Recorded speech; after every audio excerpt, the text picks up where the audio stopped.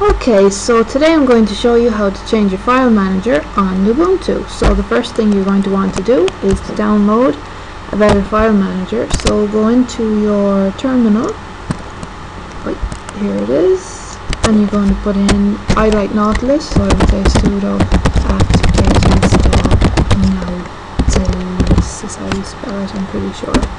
And then my password is poopyhead, so I write poopyhead and as you can see I already have it so nothing happened but that is what you will do. The next thing you want to do now I'm going to explain afterwards how not to do it because there are some other ways that seem better but are a bad idea. So I'm going to tell you how to do it. This is how you get into your file manager right? So just change this. Right click on it.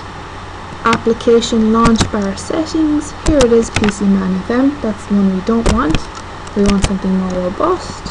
We want Nautilus, which for some reason is called shells, but you can see here it says execute Nautilus, so that's what we want to do.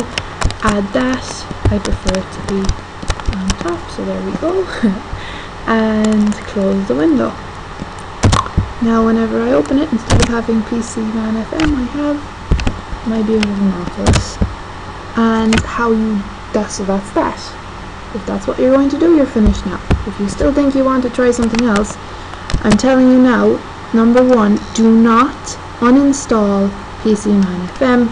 If you uninstall him, he will punish your computer by not allowing you to log into Lubuntu. You'll still be able to log into LXDE and Ubuntu Netbook and Ubuntu if you have them, um, but you will not be able to log into Lubuntu, so don't go here and uninstall your default file manager.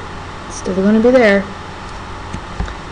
It might be a way to do it, but that's not how you do it. Another thing that you do not do, do not go into default applications for LXSession.